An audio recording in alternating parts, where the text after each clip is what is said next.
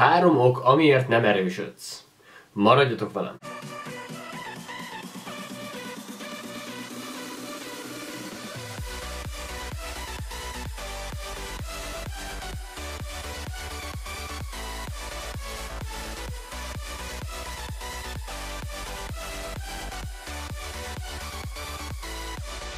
Üdvözlök mindenkit, Tari Ádám vagyok, és itt is lennék egy újabb informatív videóval, ahol azt fogjuk átbeszélni, hogy vajon miért nem erősödtök, mi az a három ok, ami miatt megálltatok, és csak szimplán nem tudtok egyről a kettőre jutni, nem erősödtök sem fekvenyomásban, sem googolásban, sem felhúzásban. Vágjunk is bele, az első kérem szépen az az, hogy helytelenül végzel a gyakorlatot. Ha helytelenül végzel a gyakorlatot, akkor az nem csak sérülés veszélyes, és nem hogy csak izomszakadásod lehet, ami az egy gáz, főleg hosszú távon, hanem kérem szépen, nem az adott izomból tolod vagy húzod a gyakorlatot, tehát nem az adott izom edződik, nem az adott izom kapja a terhelést, hanem a segédizmok vagy más izmok, emiatt az adott izom nem is fog erősödni, és hosszú távon az úgy nem is fog fejlődni. Tehát mondjuk például saját magamat nézve, Régebben a fekvenyomást igazából úgy csináltam, hogy a vállamat nagyon előre ejtettem, tehát mondhatni, hogy vából nyomtam, nem mellből.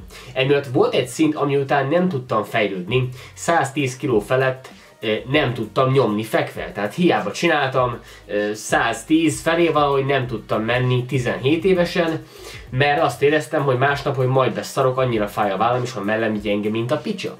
Úgyhogy utána vissza kellett vennem a súlyt, újból meg kellett tolnom a helyes kivitelezést, és utána már ment, viszont kellett neki jó pár hónap, hogy visszaépítsem ugyanarra a szintre, mint előtte volt, viszont utána már éreztem izomázat a mellembe, és tudtam utána már aktiválni a mellizmot, stimulálni az izmot, amit szerettem volna edzeni. Úgyhogy a tippem az, hogy a gyakorlatok helyes kivitelezését mindenképpen tanuljátok meg, az az első számú dolog, utána jöhet a súly. Mert mondjuk oldalámelésnél sem mindegy, hogy nagyon hátradőlsz, akkor lehet, hogy inkább az erőső deltárat fogod érezni, hogyha nagyon előredőlsz, akkor pedig a hátsó deltát, tehát azért mondom, hogy nem mindegy, az a kis szög, az a pár centi vagy pár fokos szög különbség az nagyon-nagyon sokat számít izomaktiváció, izomstimuláció szempontjából.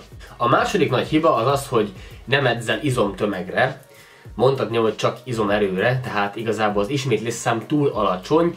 Mint tudjátok, ugye izomtömegre inkább magasabb ismétlés számokkal lehet edzeni, mondjuk 6 és 12 ismétlés szám között, ez a standard, ez néha amúgy lehet több is, több ismétlés szám is. A lényeg itt az, hogy ha több izomtömegetek van, akkor több izomsejt aktivációt érhettek el, és több izomsejt aktiváció egyenlő több izomerő, tehát igazából erősebbek lesznek, tehát kell az izomtömeg, ezért kell izomtömegre is edzeni.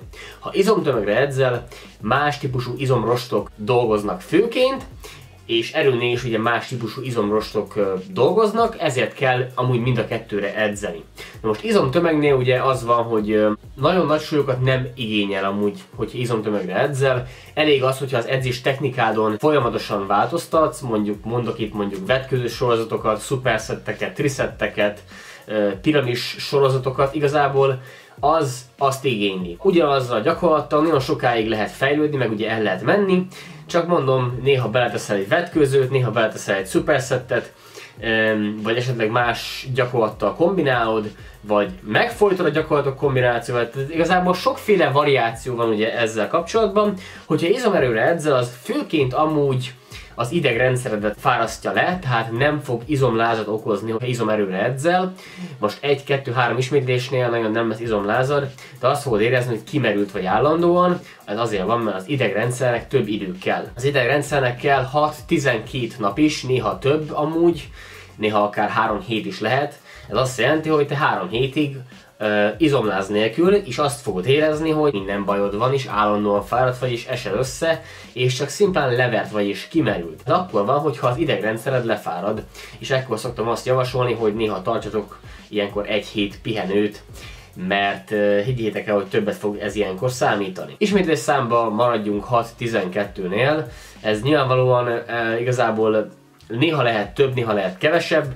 Én periodizálni szoktam az online klienseimnek is, valamikor két-három, mondjuk három hónapig magasabb ismétlésszám van, valamikor kevesebb ismétlésszám van, valamikor mind a kettőt kombinálok. Én magamnak ugyanúgy csinálom, hogy van három hónap, amikor inkább izom erőre fókuszálok, alacsonyabb ismétlésszámokkal, meg valamikor izom tömegre, több ismétlés számmal, meg szuper magas ismétlés számmal. Tehát igazából én így szoktam csinálni. És az utolsó, a harmadik hiba, vagy harmadik ok igazából az az, hogy túl sokat edzel az adott izmot, és ez lehet ugye edzés alatt is, hogy érzed, hogy fáj, mert érzed, hogy szakad szét, de még 3-4 szériát csinálsz rá, és az a 3-4 széria ilyenkor nem segít, hanem inkább árt. Ilyenkor hallgassatok a testetekre, mert az jelez, amikor már valami nem oké, mert minél jobban fáj az adott izom, annál kevesebb az izom aktivációja, és annál minél kevesebb az izom aktivációja, annál jobban ugye el van fáradva, és annál nagyobb a sérülés veszély. Erre mondom, hogy néha kevesebb az több, ezt észre kell csinálni, hogyha érzed, hogy izomlázad van, akkor nem menj vissza másnap. Vagy hogyha nem érzed, hogy izomlázad van, akkor sem menjél vissza másnap, mert attól mondjuk nincs, én nekem szinte sosincs izomlázam mondjuk karba, nem fogok minden nap kart edzeni. Maximum egy héten kétszer.